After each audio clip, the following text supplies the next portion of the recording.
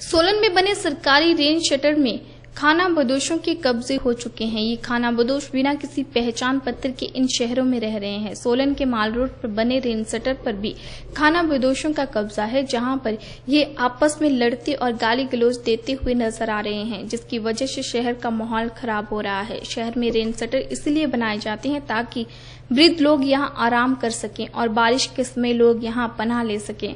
लेकिन यहाँ पर खाना बदोशों ने इतनी गंदगी डाली हुई है कि यहाँ बैठना तो दूर बदबू के कारण गुजरना भी मुश्किल हो चुका है।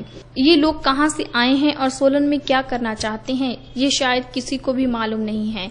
ये किसी आपराधिक घटना को आसानी से अंजाम देकर भागने में कामयाब हो सकते हैं और फिर उसके बाद पुलिस के पास हाथ मलने के सिवाय कुछ नहीं होगा। इसलिए बाहरी राज्यों से आए इन लोगों का पहचान पत्र जांची जानी चाहिए और उनका पुलिस के पास पंजीकरण करना भी अनिवार्य होना चाहिए ताकि शहर में बढ़ रही आपराधिक घटनाओं पर अंकुश लग सके।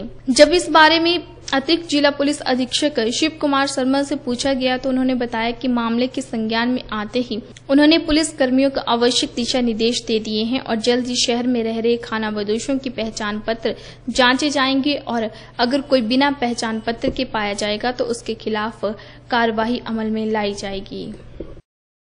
जो ये मामला ध्यान में आया है, इसके लिए इस पे जो है, जो भी उचित कार्रवाई बनेगी, कानूनी कार्रवाई, वो in due course of time की जाएगी। उसके लिए जो स्टेक होल्डर्स हैं, जैसे जो सोलन है और आईसीपीपी सिटी चौकी है हमारे, उनको दिशा निर्देश दिए गए हैं।